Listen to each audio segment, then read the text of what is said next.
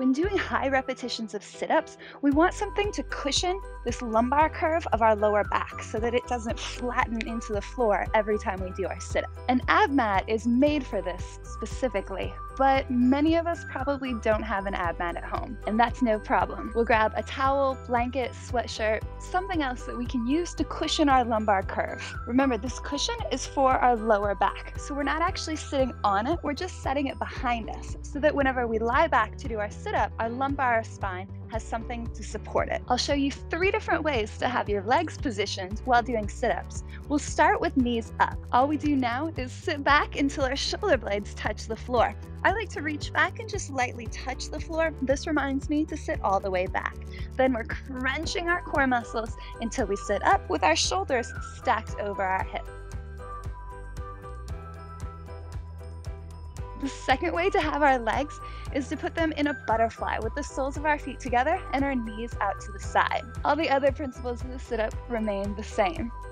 We're sitting back, touching our shoulder blades back, and then sitting up until our shoulders are stacked over our hip. The third way to put our legs is for our legs to be out long. Everything else about the sit-up remains the same. Sitting back, touching our shoulder blades back, gently touching the floor with our hands, and then sitting all the way up. The option that you choose for your legs is up to you. They all work our ab muscles a little bit differently, but really it comes down to personal preference.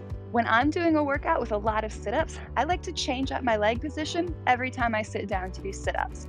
That way, I know that I'm getting a well rounded core workout. The two main mistakes that I see when people do sit ups is that when they get tired, it's tempting to lift their butt up and use that as momentum to help them sit up. Do not do this, it's very dangerous for your lower back.